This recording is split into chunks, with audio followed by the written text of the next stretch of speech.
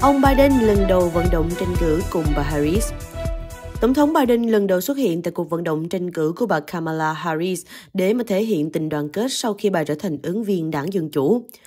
Tổng thống Mỹ Joe Biden và Phó Tổng thống Kamala Harris vào ngày 2 tháng 9 tính theo giờ của địa phương cùng xuất hiện tại cuộc vận động Ngày Lao động tại thành phố Pittsburgh, tiểu bang Pennsylvania. Đây là lần đầu tiên mà ông Biden vận động tranh cử cùng bà Harris sau khi thông báo dừng tranh cử, ủng hộ Phó Tổng thống trở thành ứng viên đảng Dân Chủ.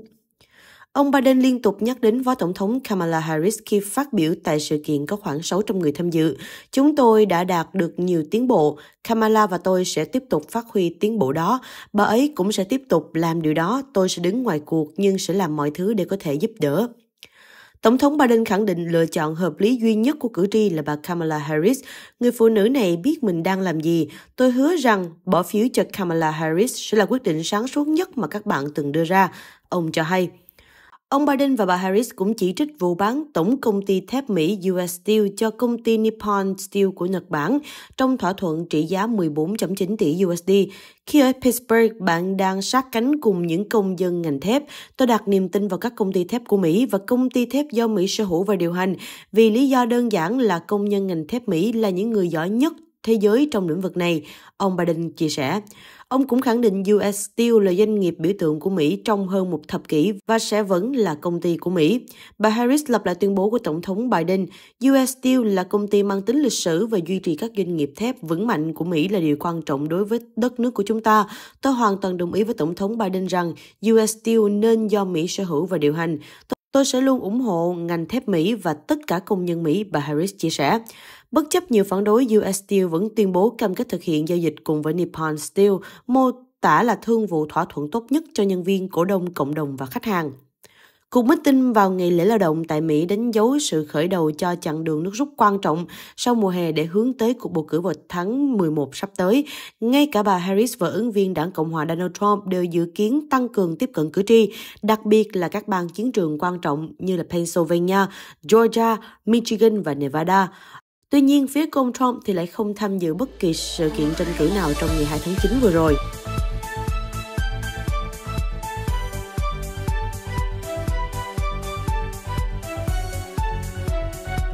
Ông Trump ủng hộ sử dụng cần sa giải trí ở Florida. Cựu Tổng thống Donald Trump lên tiếng ủng hộ đề xuất sửa đổi hiến pháp của bang Florida nhằm để hợp pháp hóa cần sa giải trí tại tiểu bang này. Trong bài đăng tải trên mạng xã hội Truth Social vào ngày 31 tháng 8 tính theo giờ của địa phương, cựu Tổng thống Donald Trump cho biết là người trưởng thành được phép sử dụng một lượng cần sa nhất định với tù chính án thứ ba của Florida, bất kể mọi người có thích nó hay là không.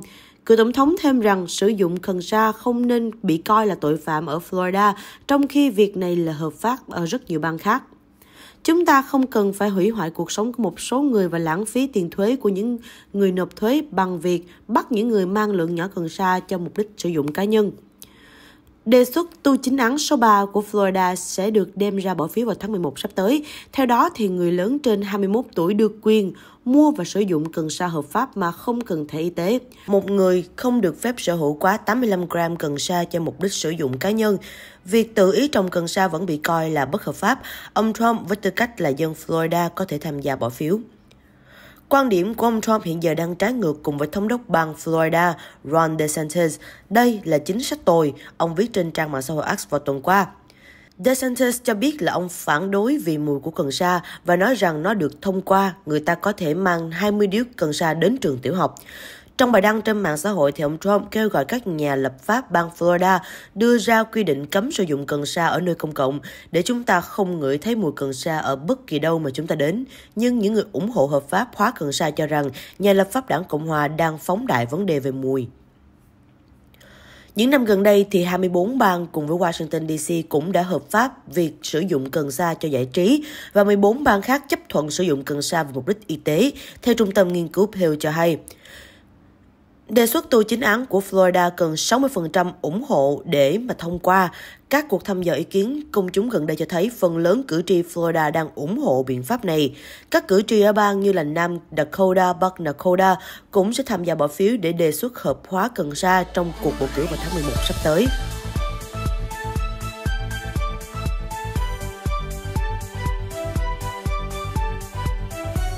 Truyền hình SET và International Home Shopping xin trân trọng giới thiệu dòng sản phẩm cao cấp thượng hạng hắc sâm từ công ty Gương Sâm Premium, độc quyền phân phối.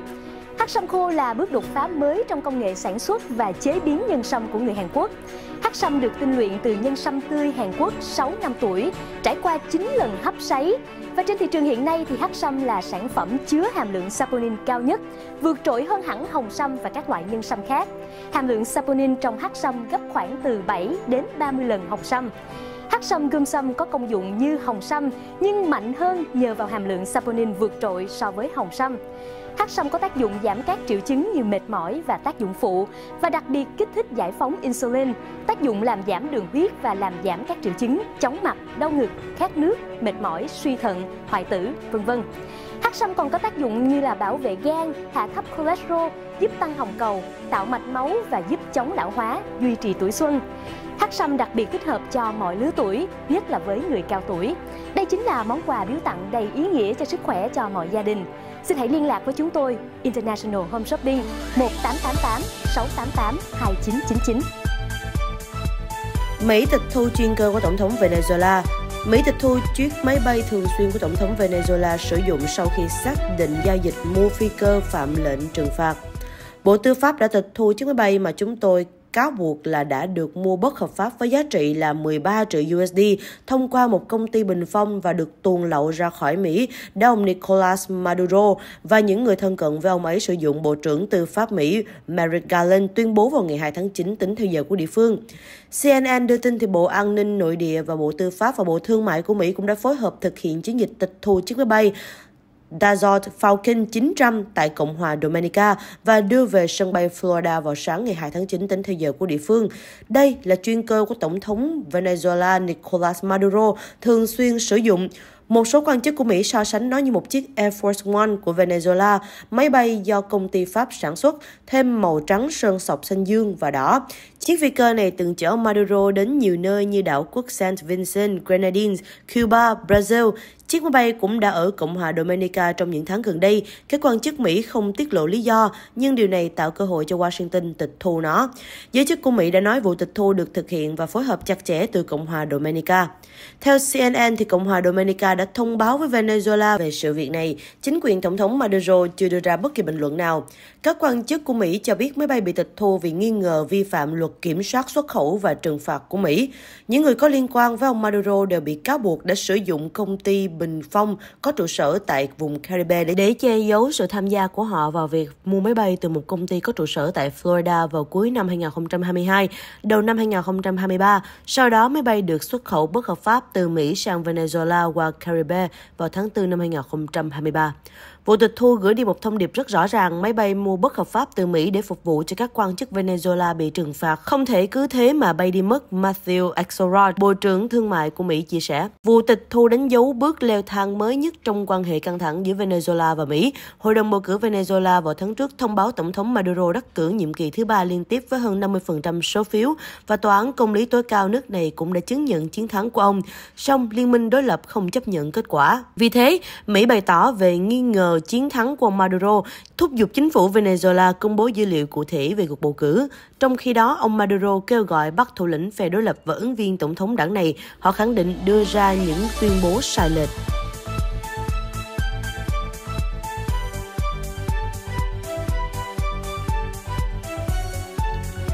Israel bùng phát biểu tình sau vụ tìm thấy 6 thi thể con tin ở Gaza.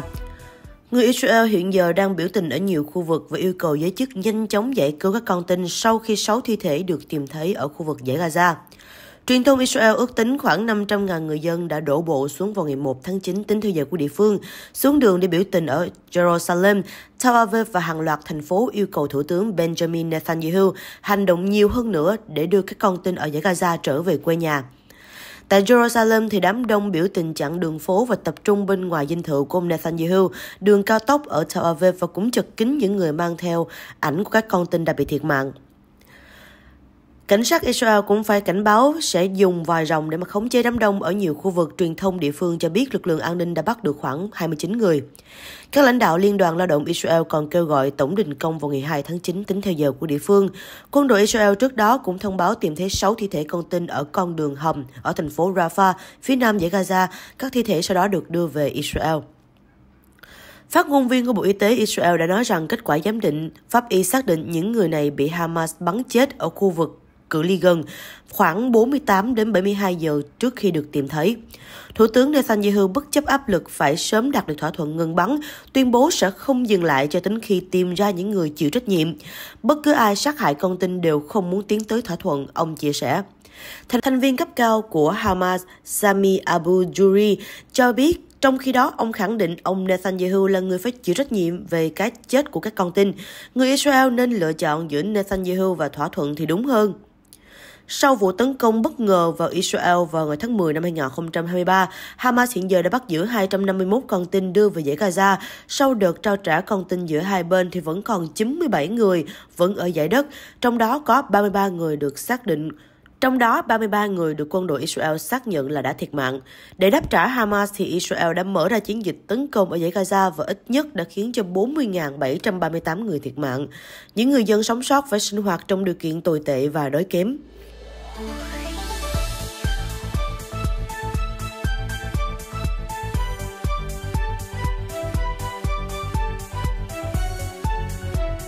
tin Mỹ thiệt mạng ở Gaza, Tổng thống Biden tuyên bố Hamas phải trả giá.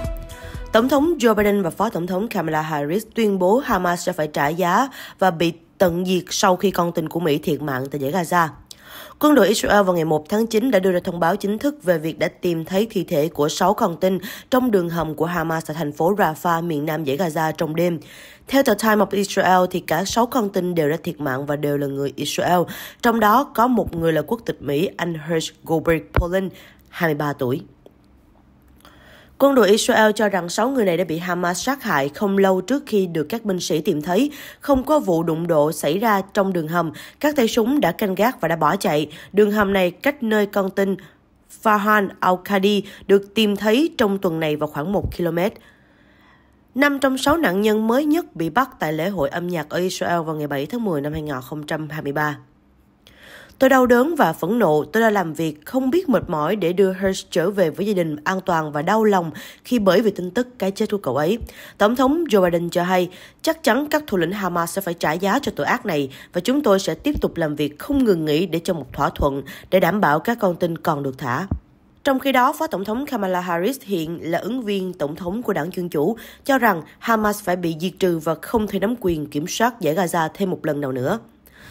Tôi không có ưu tiên nào cho sự an toàn của các công dân Mỹ, bất kể họ ở đâu trên thế giới. Tổng thống Biden và tôi sẽ không bao giờ từ bỏ cam kết dành tự do cho người Mỹ và tất cả những con tin bị giam giữ tại giải Gaza, bà Harris chia sẻ.